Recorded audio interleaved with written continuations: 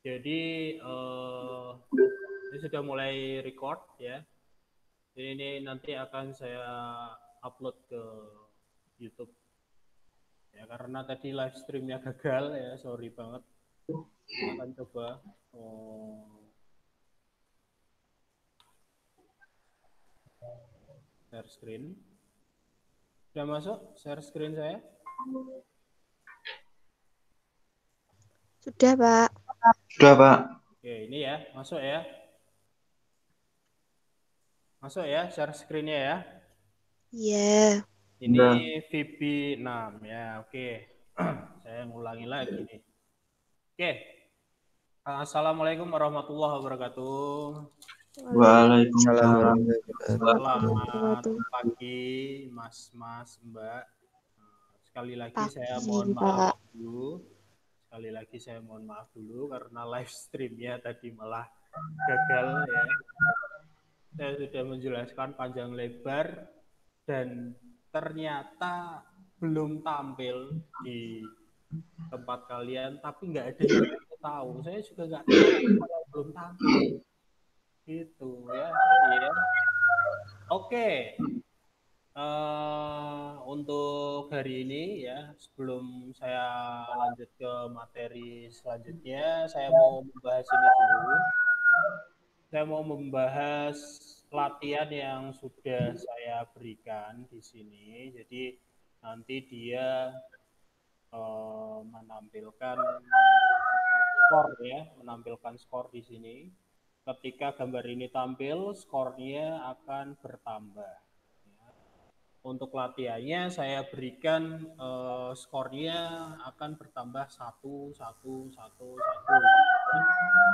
Nah, karena secara logika ketika gambar ini muncul skornya baru nambah. Nah, skor eh gambar ini muncul ketika uh, mohon maaf itu di mute saja, Mbak. Ah yang ada ayamnya ya. Nah, ini Sur titik mulu, Sur. ini ya, jadi gambar ini muncul ketika angkanya di sini muncul angka 9. Nah, angka ini nanti munculnya ketika kita klik putar kan. Berarti otomatis secara logika skornya ini nanti untuk menampilkan skor ini berarti skripnya ada di tombol putar. Kita klik dua kali, tombol putar. Nah, ini skripnya. Sudah tampil belum skripnya? Sudah, Pak. Sudah, Pak. Terbaca? Jelas nggak? Jelas, Jelas Pak. Nah, ini kita mau ini web enak ya. Ah, jangan Pak Agus ini aneh-aneh wae jajal-jajal opo ya. Jadi ini nanti skripnya seperti ini. Label 6, label 6 itu apa sih? Label 6 adalah label yang ini ya. Jadi label ini saya beri nama label 6. Maka label 6.caption jadi caption dari label 6 itu isinya adalah caption label 6 ditambah 1. Jadi di sini nanti label 6-nya adalah 0 ditambah 1. Jadi ketika muncul angka 9 nanti uh, label 6-nya akan ditambah 1. File ini fungsinya apa? File ini fungsinya adalah untuk mengubah string ya, tipe data string menjadi tipe data double. File kurung buka. Nah, ini munculnya seperti ini.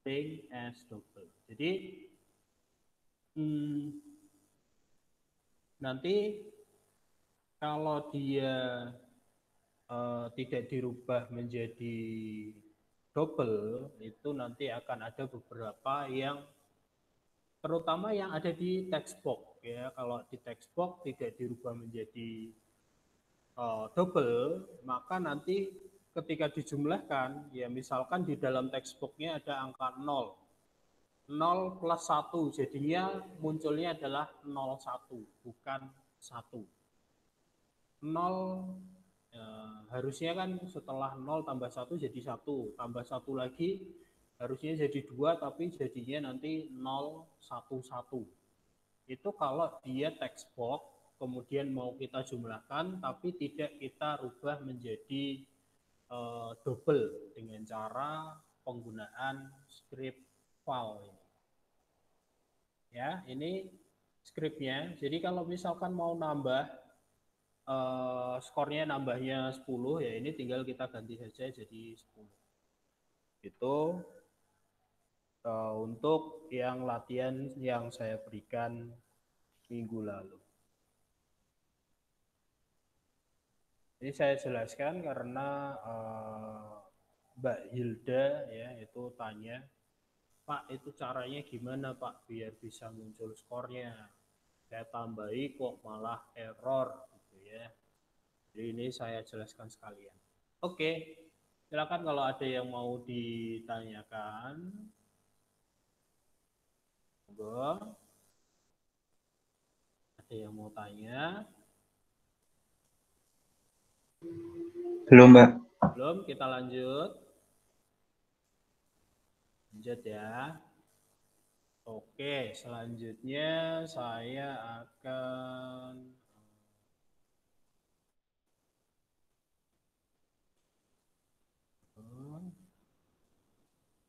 juga baru mencoba yang ini juga sih. Oke, selanjutnya kita masuk ke materi tambahan ya, materi materi barunya. Ini tampil ya, PDF-nya. Tampil, Pak. Ya, oke, siap. Ini begini. Untuk materi selanjutnya adalah penggunaan dari option button. Option button itu apa sih? Option button Option itu pilihan, button itu adalah tombol. Jadi tombol untuk memilih. Nah, di sini nanti, ups, ada yang mau gabung nih. Saya tidak Pertiwi, oke, akan gabung. Ini ya, jadi uh, untuk option buttonnya fungsinya adalah me, apa namanya sih, me, memberikan pilihan ya, memberikan pilihan. Di sini contohnya memberikan pilihan warna merah, kuning, biru, dan hijau. Lagi lisensia iis. Iis ki ngono jahat. Ngerti nek urung tampil kok ya ora ngomongi, ora ngechat piye, chat WA piye lah. Iis, iis. Oke. Balik lagi saya lanjutkan di sini uh, chain button untuk pilihan ya ini objeknya nanti ada form yang jelas ya label untuk tulisan mengubah warna label dengan option button ini kemudian option button nah ini tombolnya seperti ini option button bunder-bunder bolong tengah ya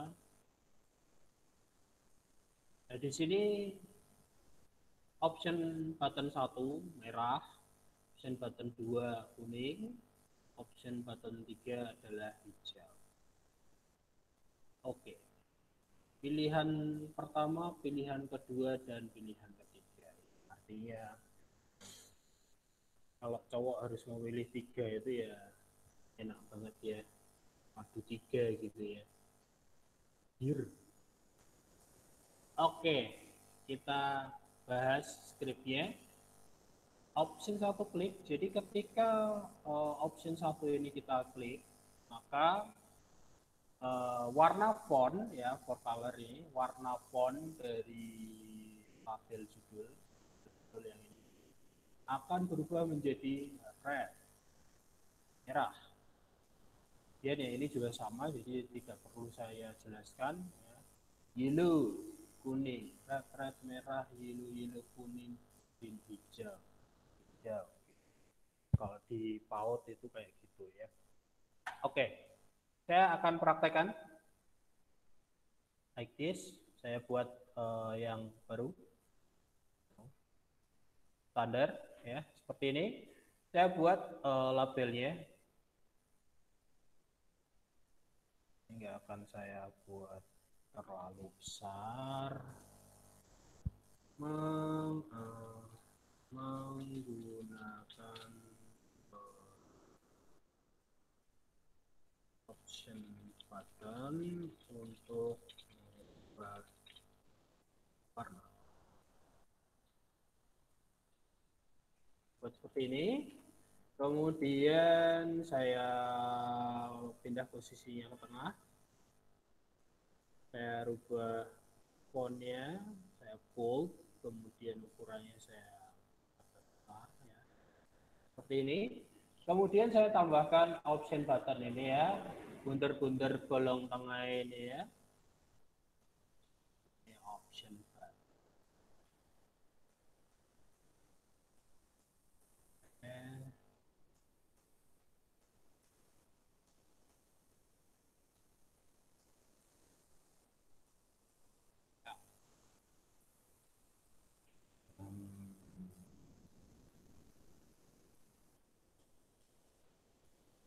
Oke, nah, inilah.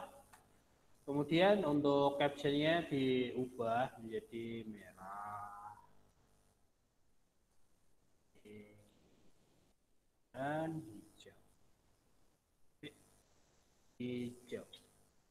Nah, kemudian kita berikan scriptnya. Jadi logikanya adalah ketika kita memilih merah, maka label ini jadi merah ketika kita klik kuning ini berubah menjadi kuning. Berarti karena logikanya begitu, berarti yang dikasih script adalah yang ini. Kita klik dua kali, kemudian kita ketikkan scriptnya, ya itu labelnya tadi tidak saya beri nama, label 1 dot for color sama dengan VB red. Nah ini enaknya untuk yang VB 6.0 dia tidak case sensitif. Nanti dia akan secara otomatis berubah menyesuaikan dengan nama yang sama.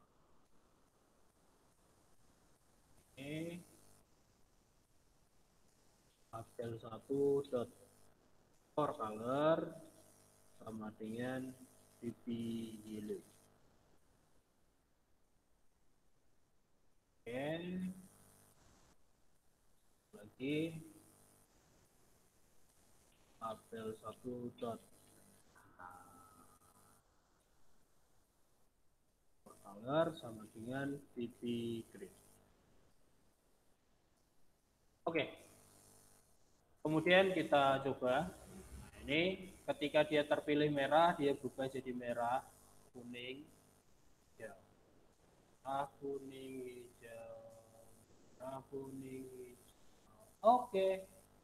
Seperti itu untuk uh, penggunaan dari option button.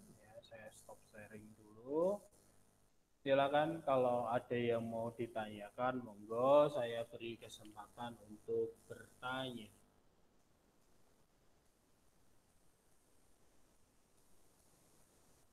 Is, is, kok jahat toh is mau live stream orang muncul kok orang ngomong toh is kowe is wah jan marai bulan baleni toh is gitu.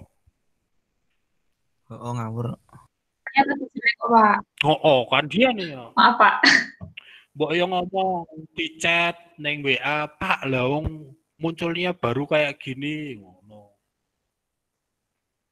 Piye gitu. Iki malah penak ya ora ono delay.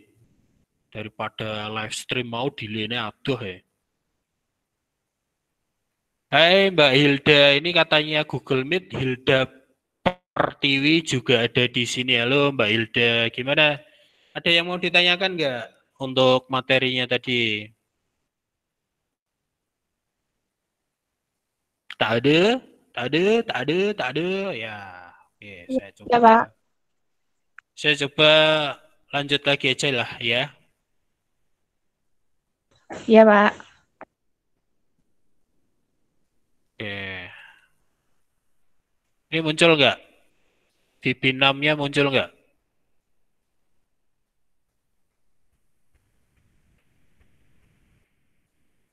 Share screen saya muncul nggak?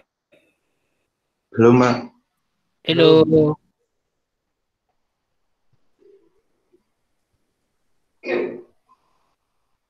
Ini Gelap, Pak. Gelap ya Allah. Listriknya mati po. Si si si. Eh, nah ngono lho, nek ki ngomong. Suaranya mati. Eh, tak share screen semuanya mati. aja lah. Iya, iya karena koneksinya Mbak, sorry ya. Nah, mu- muncul ya, kayak ya. Wis muncul ya. Muncul, Pak. Wes, sudah ding. Sudah, Pak. Sudah, Pak. Oke, selanjutnya ya. Wih. ya, kalau saya menggunakan bahasa Indonesia padahal saya orang Jawa ya logatnya seperti ini, mak dua ngono ya. Inu. Oke, selanjutnya eh, kita akan ah, sorry sorry sorry ini OBS-nya ini belum saya stop ini oh, iya nih kalau start start. Oke selanjutnya adalah eh, checkbox ya. Checkbox itu fungsinya untuk apa sih? Fungsinya checkbox itu digunakan untuk memilih lebih dari satu pilihan kalau option button kan harus milih salah satu kalau checkbox itu dia digunakan untuk memilih lebih dari satu. Nah, contohnya di sini adalah bold dan italic. Ini sudah ada skripnya, skripnya seperti ini. Nah, untuk checkbox kita harus meng- harus menggunakan conditional. Fungsinya supaya eh, ketika checkboxnya itu dihilangkan, maka dia tidak aktif. Ketika checkboxnya di munculkan berarti dia aktif gitu ya. Nah, di sini if check satu value sama dengan baby check.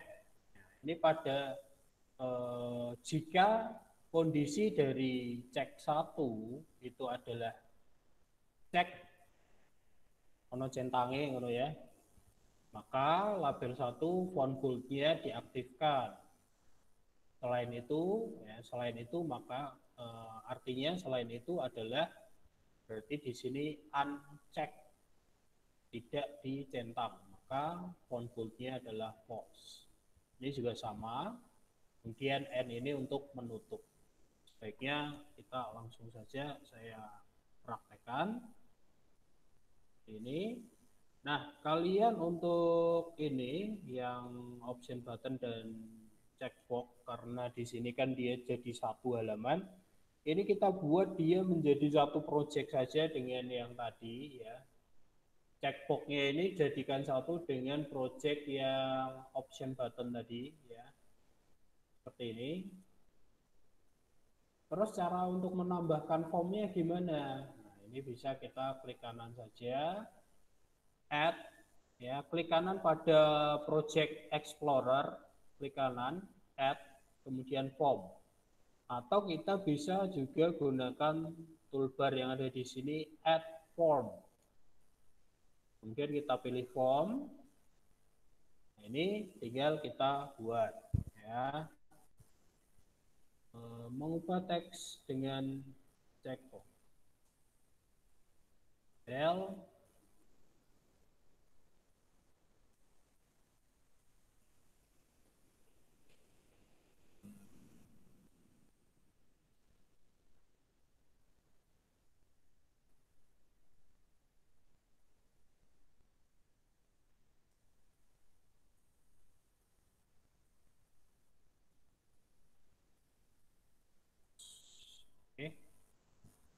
Kemudian saya atur di tengah. Dan fontnya saya buat biar lebih besar sedikit. Dan saya bold. Eh, nggak usah saya bold ya, regular aja. Karena nanti kan ada fungsi bold. Seperti ini. Kemudian checkboxnya yang ini ya, kotak-kotak ono centange. Kalau yang option button itu bulat-bulat bolong tengahnya ini checkbox yang ini. Ini saya kasih yang full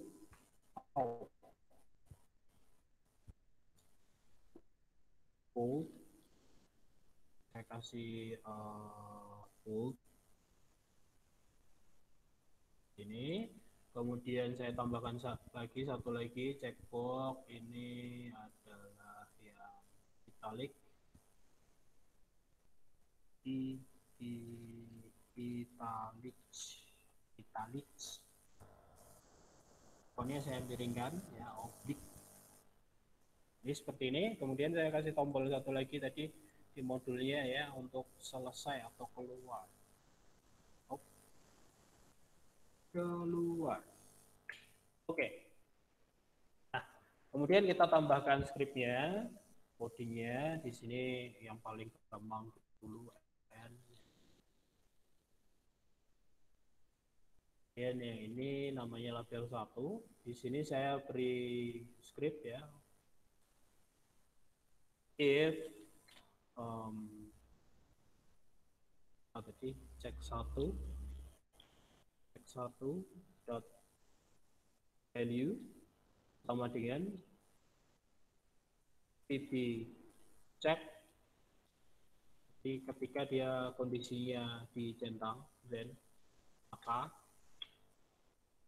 tabel 1 dot contour sama dengan true else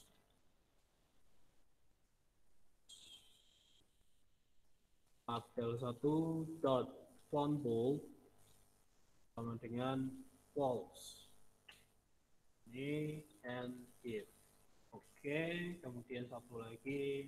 Untuk yang italic if tag 2 dot value sama dengan vp tag sama ya dan tabel 1 dot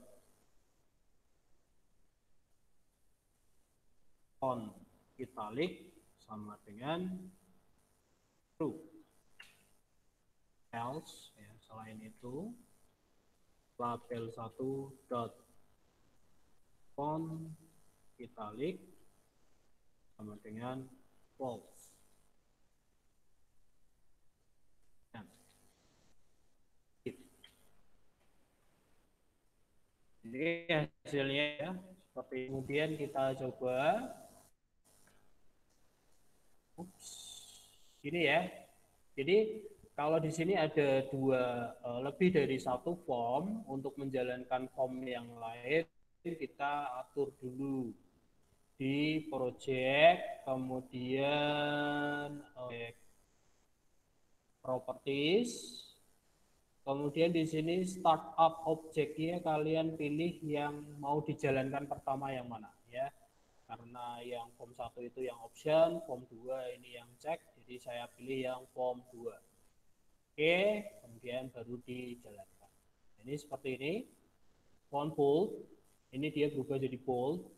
Font italic, bold, dan miring. Ketika ini dinonaktifkan, dia kembali seperti semula. Oke, ada yang mau ditanyakan?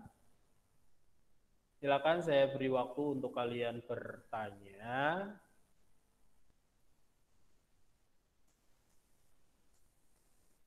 Monggo. Tidak ada yang mau tanya?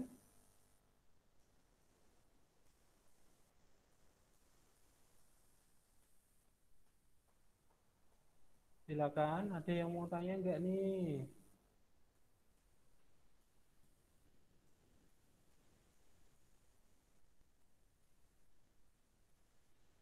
Enggak ada yang mau tanya.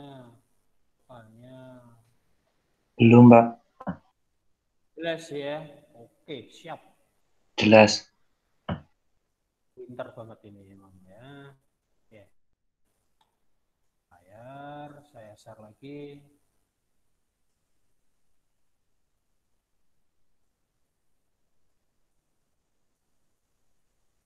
Nah, ya. Ini adalah checkbox tadi checkbox, kemudian option box, eh, option button, kemudian selanjutnya ada combo box dan list box. Nah, combo box itu fungsinya sama seperti apa namanya eh, option button, yang mana kita harus memilih salah satu, tapi dia tampilannya seperti ini. Kotak, kemudian ada tanda panah ke bawah. Ini seperti ini, kalian nanti buat ya. Ini saya buat lagi form baru. Oke.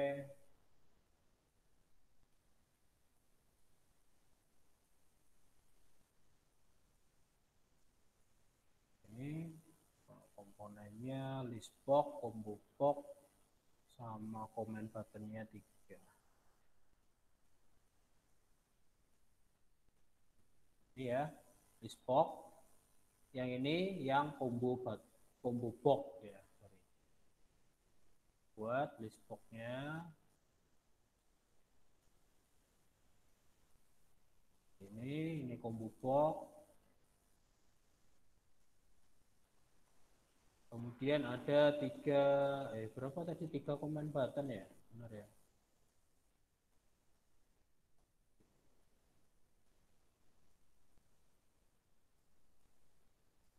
Oke, seperti ini. Kemudian kita atur propertiesnya. Oh ya, ini ada labelnya ya, pilih nama.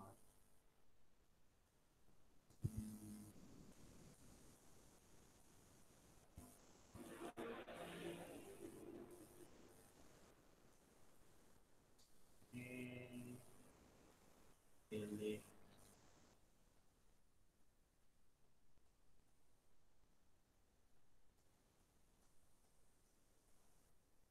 dan tambah hapus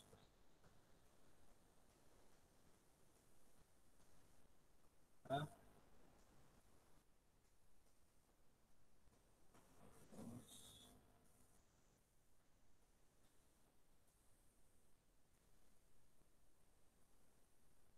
ini, ini saya turunkan aja oke. Kemudian ini ada eh, scriptnya di sini ada private subload eh, form load jadi ketika formnya itu dimuat maka ya combo boxnya combo box add item jadi dia menambahkan item pilihan pada combo box berupa apel. Tambahkan lagi item pilihan pada combo box berupa durian, rambutan, dan papaya.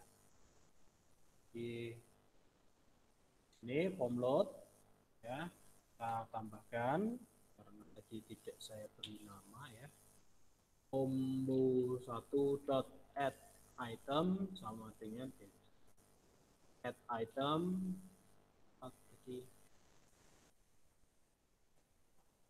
Apel, durian, rambutan. Apel,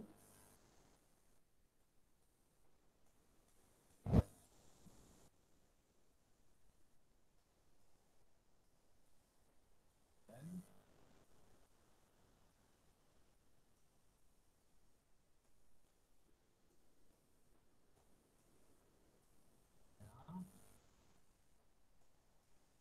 Ah, rambutan. Buat. Oke, next ya. Di sini private sub tambah ya. Jadi ketika ditambah maka di list box-nya ditambahkan dengan yang dipilih di combo box. Oke.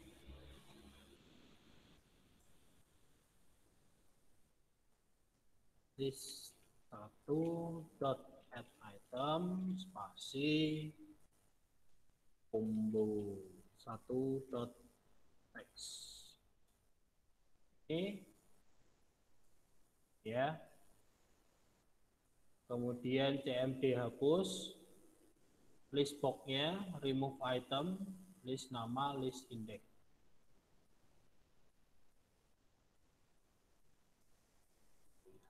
hapus list satu dot remove item. List satu dot list index ini kemudian clearnya eh, bersihkan. Ya, bersihkan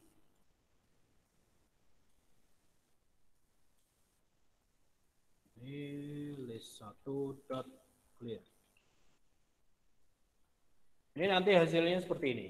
Saya jalankan project ke project properties kemudian ini saya ubah menjadi form 3 supaya dia fokus ke ini. Saya jalankan. Ini seperti ini tampilannya. Ini saya pilih apel kemudian tambah. Maka apel ini akan muncul di sini saya pilih durian nanti duriannya akan muncul di list box. Dan seterusnya pepaya rambutan saya tambah rambutan lagi. Nah ini rambutan yang ini mau dihapus ya ini diklik kemudian hapus dia hilang. Klik hapus pepayanya hilang. Ketika bersihkan dia jadi kosong semua oke seperti itu untuk apa namanya penggunaan list box dan combo box yang mana materi hari ini adalah kita fokuskan untuk penggunaan pemilihan eh, pemilihan dari data gitu ya. Jadi mau milih yang mana itu pakainya bisa menggunakan option button ketika kita harus memilih salah satu dari eh, pilihan ya. Option button bisa atau combo box juga bisa. Kemudian kalau bis, kalau mau memilih lebih dari satu, kita bisa gunakan checkbox. Oke. Kemudian di sini ada tambahan ya, memberi nama kontrol. Ya. Sebaiknya ini disarankan kalau kalian membuat sebuah project, kalian menambahkan objek seperti label, seperti combo box, text box, image itu sebaiknya diawali namanya diawali dengan CBO untuk combo box, CHK untuk checkbox, CMD untuk comment button dan seterusnya. Jadi ini fungsinya supaya kita tahu nama itu untuk objek apa. Dan juga kita bisa lebih mudah mengingatnya. Misalkan kita tambahkan option button untuk uh, sorry combo box untuk jenis kelamin. Ya kita kasih nama combo boxnya itu CBO jenis kelamin. Atau bisa kita singkat saja juga boleh CBO J kelamin itu juga boleh. CBO JK itu juga boleh. Atau yang penting kalian mudah mengingat dan diawali dengan uh, awalan yang berhubungan dengan kontrol yang kalian gunakan.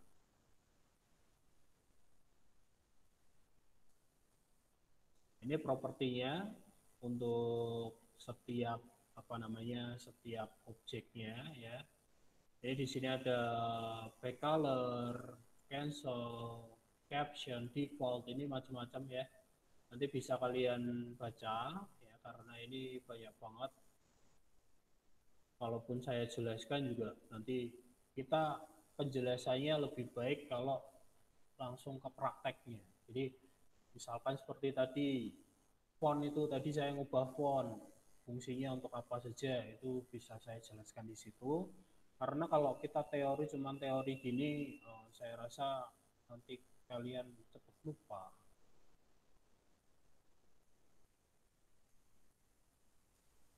Ini ada event comment button.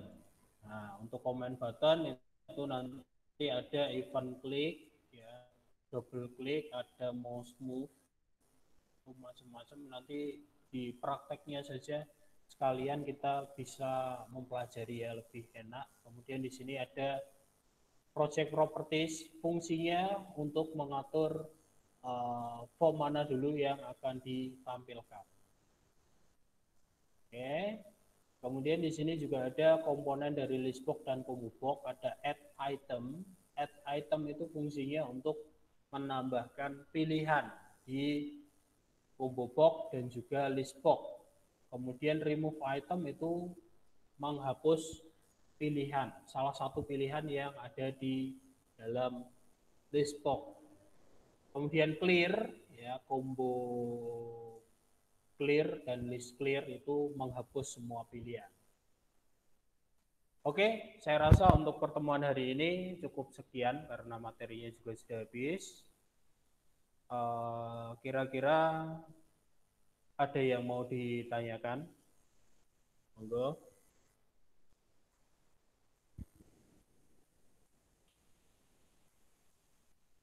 Silakan ada yang mau tanya.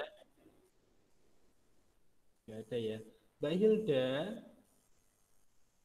pertanyaan kamu yang apa namanya eh, skripnya bagaimana itu sudah saya jelaskan ya tadi ya.